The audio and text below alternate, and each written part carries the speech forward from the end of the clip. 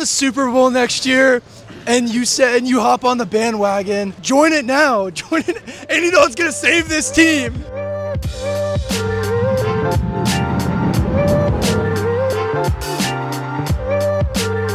This is Ralph Amsden with Fango Media outside of Bank of America Stadium in Charlotte, North Carolina, where the Atlanta Falcons are running away with it late.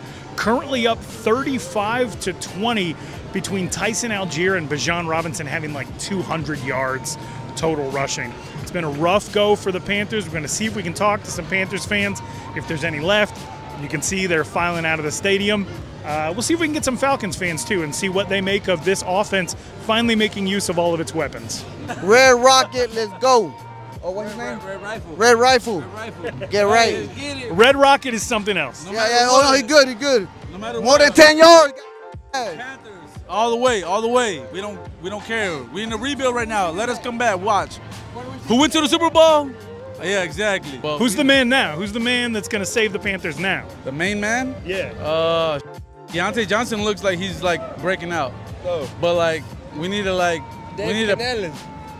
He need to. He, he need. to- He alright. He, he need to turn him around, bro. He need to turn him around. defense. That's all we need. We need Hey, Derrick Brown. Derrick Brown comes back next year, but you're saying they're going to turn it around this year. What makes you think they're going to turn around this year? I don't know. I don't know. if- Legette doing good.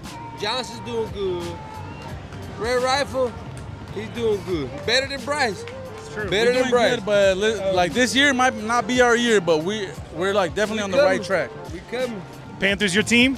Uh, Panthers are my team, but I, I support them. I support them. Panthers are He's a fan. The whole goal is to get more fans. So what we're going to do is we're going to convince Henry to become a permanent Panthers fan.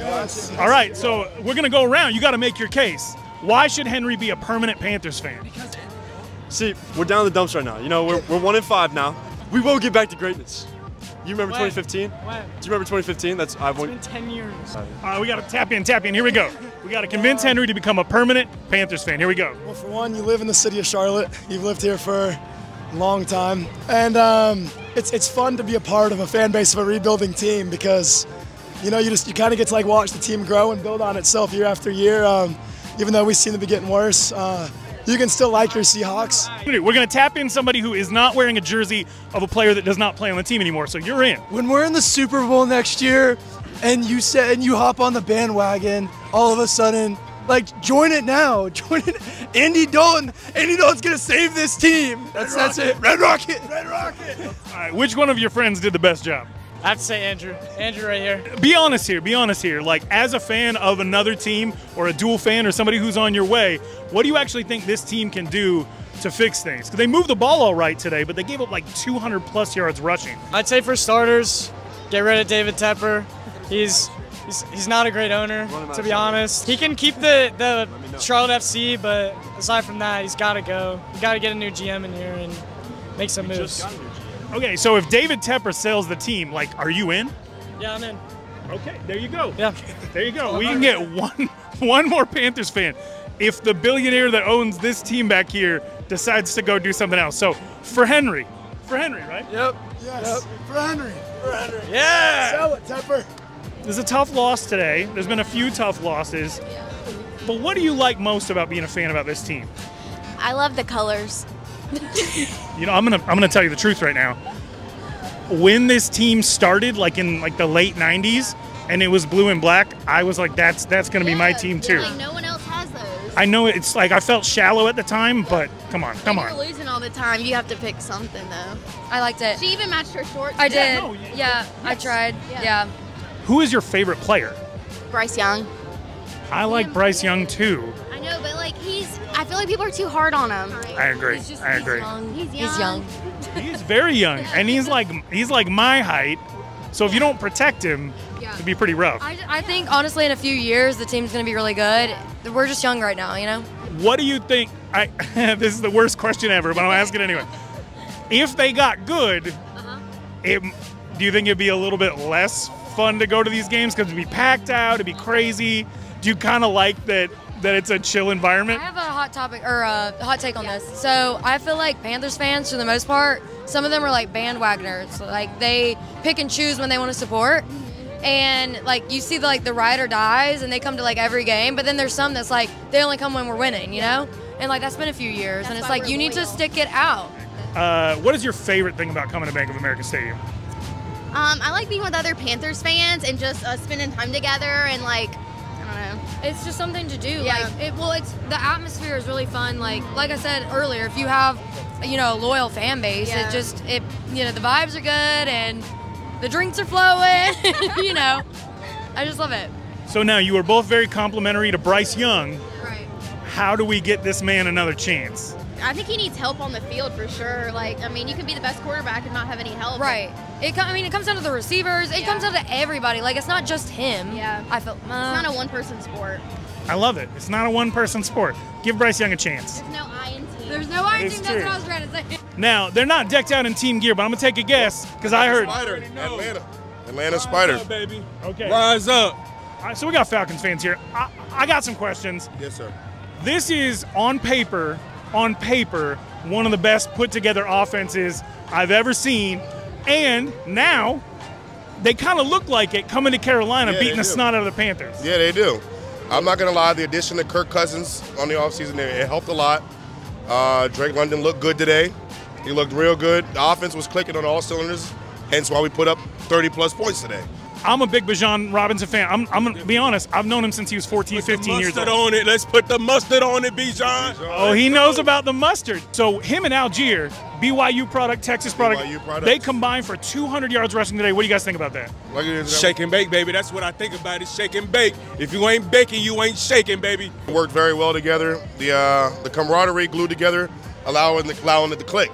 Hence why we got the, the significant win over Carolina today. Rise up, baby, rise up. I've been waiting since the day of the draft Yeah. to ask a Falcons fan on camera Okay. that oh. Michael Penix pick. Do you agree with Oh, it? Man. Yes. Yes, Yes. most definitely. Okay. Let's groom him into what a great quarterback can be, and that's behind Kirk Chains, baby. that's behind yeah. Kirk Chains. He's I gonna like- teach him how I to like- play the game right. I like Kirk O'Banks. Some people say he's a journeyman, but I like Kirk O'Banks for, for to get him in the motions to become an NFL quarterback. It takes a lot development to become an NFL quarterback. You think Drake London has what it takes to be every down guy, get get to be one of those top five receivers? Most definitely. Kirk ain't ain't pick nobody else. He's a good, reliable man. Drake is him.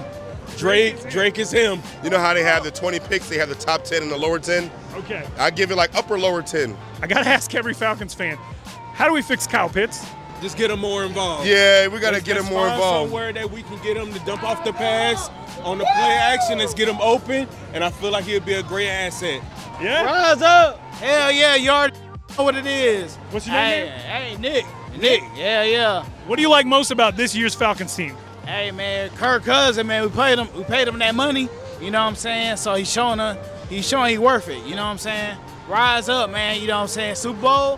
Who knows? Who knows? You know what I'm saying? I ain't saying nothing, but who knows? Come to Bank of America and take over. This is our stadium. This is the second Benz. Rise up. We here. We finna show out and we finna celebrate. You know what time it is. Calling Bank of America Stadium the second Benz is incredible. This is like a 90s Benz. you don't take it out that often. Yeah, it's outside. Hey, either way, either way, we here, bruh. either way, you already know what time it is. Hey, it was your game, but we own y'all boys, man. Better luck next year. Rise up. Let's go. Bank of America is the second Benz might be the title of this video. That's crazy. How do we fix the Carolina Panthers?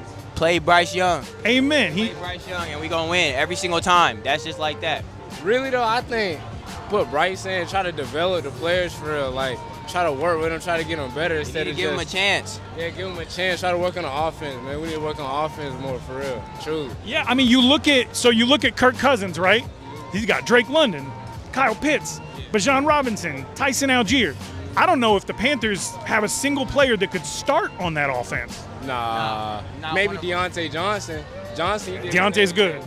Chuba, he did his thing today, but nah, not like the not like the Falcons though. They ain't got they ain't got players like the Falcons. Uh, do you want to talk about what happened to the Saints today? there you go. All right, you heard it here.